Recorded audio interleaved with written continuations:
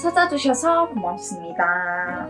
2021 세계 대학 순위 top 10! 어떤 대학교들이 순위권에 있는지 영상을 통해 꼭 확인해 보세요. 채널 채널 고정! 12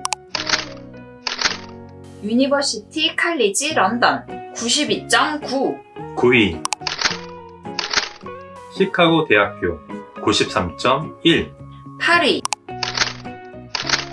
임페리얼 칼리지 런던 93.6 7위. 케임브리지 대학교 94.3 6위. 스위스 취리히 연방 공과대학. 95 5위. 옥스퍼드 대학교 96.7 4위. 캘리포니아 공과대학. 97 3위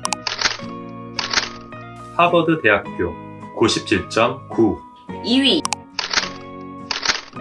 스탠퍼드 대학교 98.4 1위.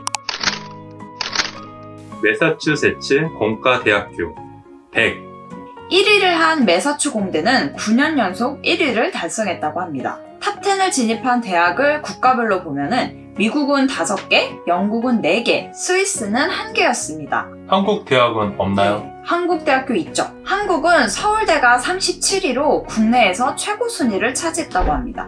다음 순위 조사 때는 한국이 더 올라갔으면 좋겠네요. 네. 음. 서울대뿐만 아니라 다른 대학교들도 네, 네, 더더 많이 음. 올라왔으면 하는 바람이 있습니다. 올라갈 수 있을 것 같아요. 음.